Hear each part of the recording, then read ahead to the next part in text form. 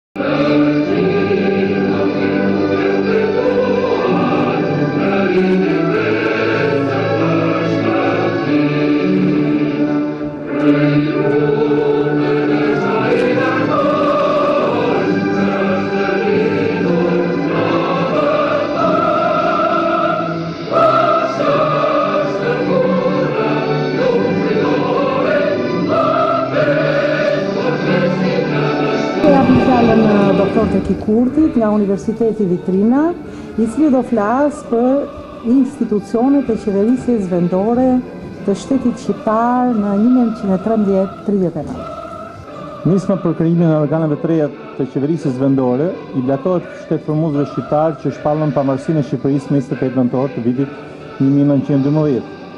Shpallja e pavarësisë dhe fillimi i procesit të formimit të shtetit kombëtar kishte në themel mendimin progresist të frymëzuar nga idealet e lirisë e të zhvillimit të komb-shtetit mbi bazën e marrëdhënieve të reja ndërmjet shtetit dhe shtetasve.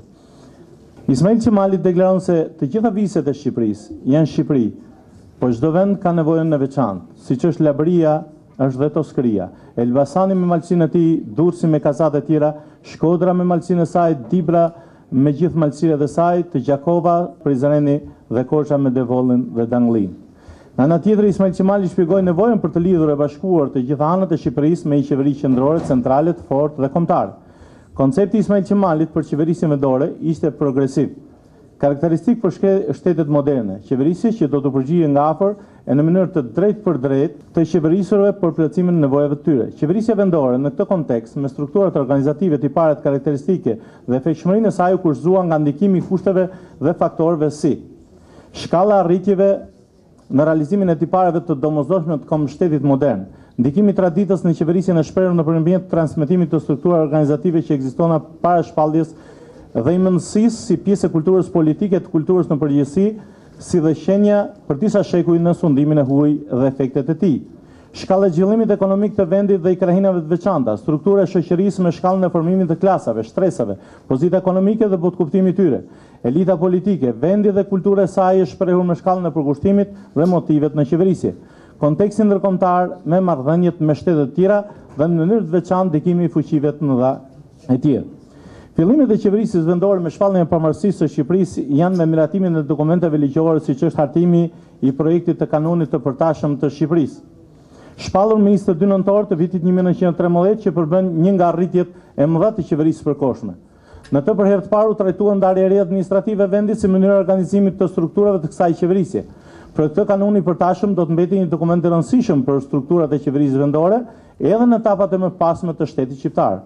Atij do t'i referoheshin qeveritë e mëvonshme. Ky është i pari dokument ligjor me karakter kushtetues që realizonte ngritjen e administratës vendore mbështetur në përvojën europiane duke shkëputur përvojën turke.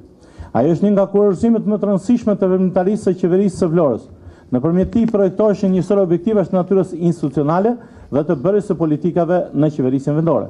Për herë të parë në këtë kanun kemi organet e zgjedhura në nivel në administratës vendore. Ai parashikonte në detaje ndarjet administrative dhe kompetencat e çdo organi të qeverisë vendore.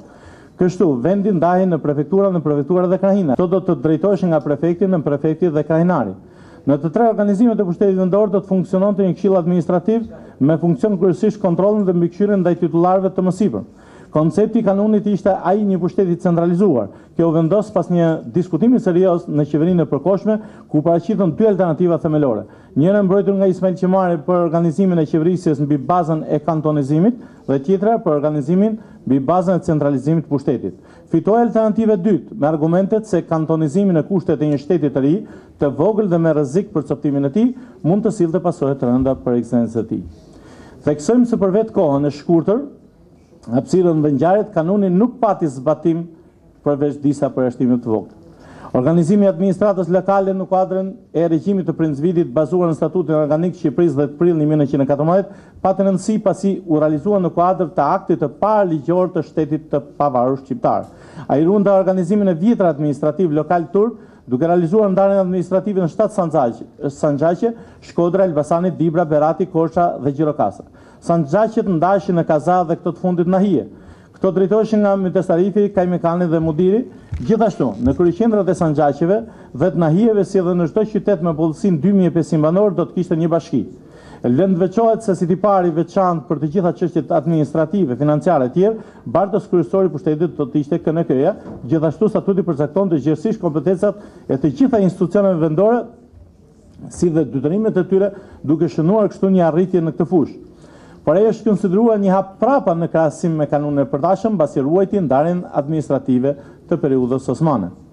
Gjatë Luftës së Parë Botërore Shqipëria u nda në katër zona pushtimi, veriu, Shqipëria e Mesme dhe Jugperëndimore deri në Vjosë ishte zonë e pushtimit të Austro-Hungarisë, Shqipëria Juglindore zonë e pushtimit francez, ndërsa ajo Jugore zonë e pushtimit italian.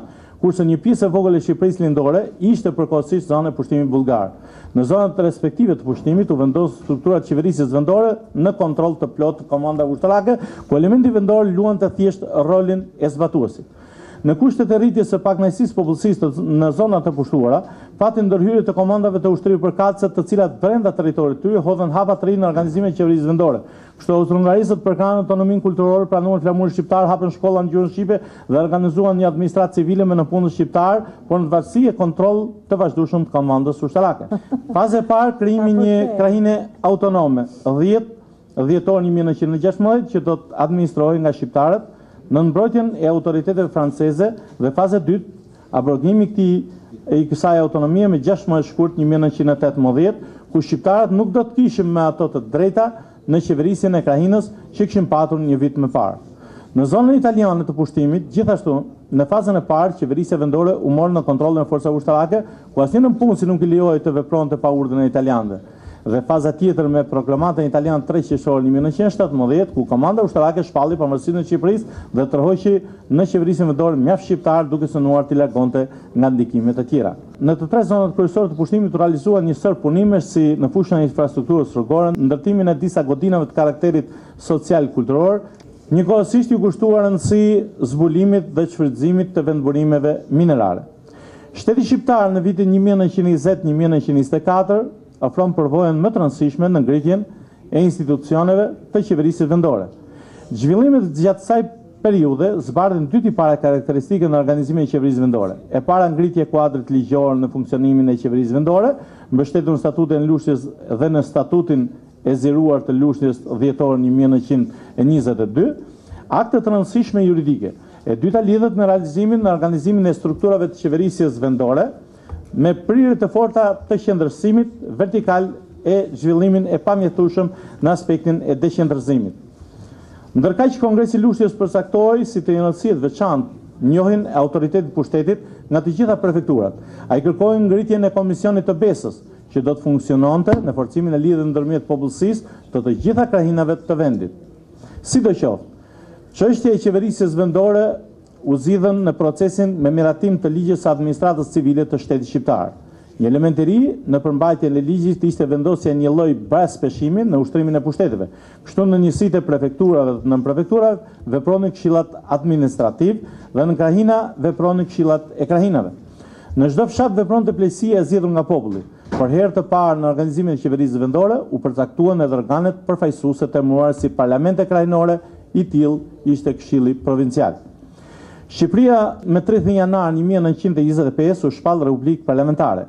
Kjo përbënte një hap mjaft të rëndësishëm dhe për funksionimin e qeverisë vendore.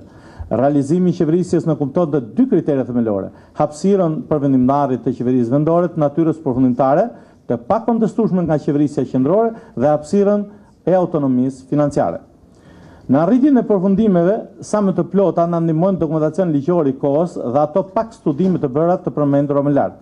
Nisura nga këto kritere mund të arrijmë në përfundimin për qendërzimin e madh të pushtetit edhe nga pikëpamja e shtrirjes territoriale.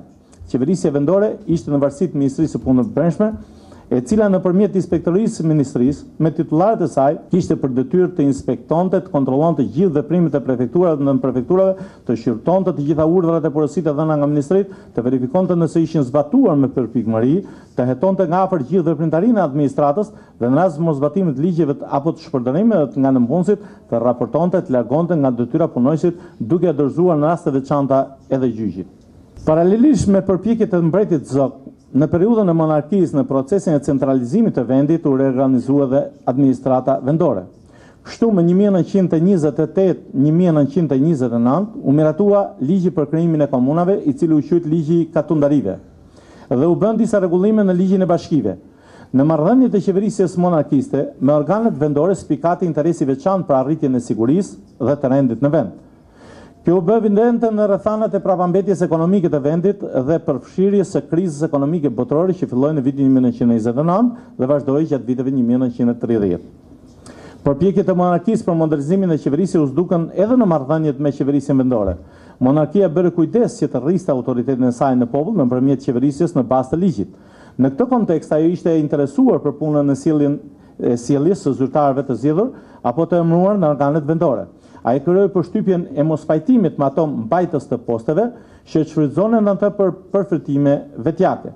Po ashtu është mbajtur qëndrim ndaj të zgjedhurve, të cilët nuk kishin përgatitjen e duhur arsimore e profesionale. Për më tepër, monarkia synoi të kultivojë kulturën politike të të qeverisurit për vendin dhe rolin e organeve qeverisëse, të vlerësimit të tyre mbi bazën e parimit të qeverisjes për të qeverisurit. Por mund të konstatojmë që krahas arritjeve në periudhën e monarkisë, ishin të pranishëm shfaqje të korrupsionit, të paaftësisë, të bajraktarizmit, të mbeturinave feudale, të shkallës së ulët të arsimit të nënpunësve vendorë, të mungesës së një rrjeti të rregullt të zhvillimit social e kulturor, të cilat ngadalësuan kështu ritmet e konsolidimit të mëtejshëm të shtetit shqiptar sipas standardeve europiane të kohës. Në faqet e shtypit të kësaj periudhe vihet në dukje më të madhe nevoja e njohjes së kushteve reale e konkrete sipas krahinave veçanta, pra të shkallës së zhvillimit ekonomik, shoqëror e kulturor, në morinë e artikujve të shkruar për veprimtarinë e qeverisë vendore. Pra u këmbëngul për nevojën e rritjes së efektshmërisë së qeverisë vendore, gjë që lidhet me deqendrëzimin si dhe fushat e emërimeve, transferimeve dhe pushimeve nga puna, duke ofruar përvojën e vendeve të tjera si Franca, Britania etj. Po ashtu mund të thuhet se shtypi ka hapur faqet e tij edhe për të shprehur shqetësime, kërkesa apo dhe vlerësime të të shtetasve për politikat dhe qëndrimet e zyrtarëve si dhe të qeverisjes qendrore ashtu dhe të asaj vendore. Ndërkohë shtypi është edhe një burim shumë i rëndësishëm për vlerësimin e mendimit kulturor e politik të kohës. Në këtë aspekt ai u shqua për përcjelljen e mendimit dhe të konceptimeve progresive që lidhen me struktura institucionale të procedurave politike të shtetit moderne. Del qartë, për shembull, synimi që Shqipëria duhet të të ndërtonte shtet ligjor e njëherësh të realizonte një qeverisje sa më afër popullit dhe për plotësimin e interesave mbarëkombëtare e mbarëshoqërore. Njëkohësisht në vlerësimin përfundimtar të arritjeve në qeverisje duhet mbajtur parasysh rrethanat e kohës të njohura si rrethana historike. Atë e kanë kushtëzuar me një nga periudhat më të vështira të zhvillimit të shoqërisë njerëzore në shkallë botërore pikërisht në fillimin e vitit një mijë e nëntëqind e njëzet e nëntë të krizës ekonomike botërore njohur edhe si Depresion i Madh e që zgjati deri në fillimin e Luftës së Dytë Botërore si dhe i shoqërimit të saj me tronditje të mëdha politike në vetë regjimet qeverisëse të kohës. Kjo do të thotë se u krijuan vështirësi shtesë, që mund të mos ndikonin në shkallën dhe ritmin e arritjeve progresive. Arritjet e qeverisë vendore në vitet trembëdhjetë e tridhjetë e nëntë përbëjnë një urë lidhëse me të sotmen. Ato janë shprehur edhe në mënyrë vizuale, nëpërmjet dhjetëra fotografive të cilat mund të ballafaqohen me objekte që ekzistojnë dhe janë funksionale në shërbim të qeverisjes edhe sot dhe mund të klasifikohen si monumente kulture. Kjo traditë po trashëgohet nëpërmjet transmetimit të saj në procesin e zhvillimit, konsolidimit dhe integrimit të institucioneve demokratike bashkëkohore në ato europiane. Ju faleminderit.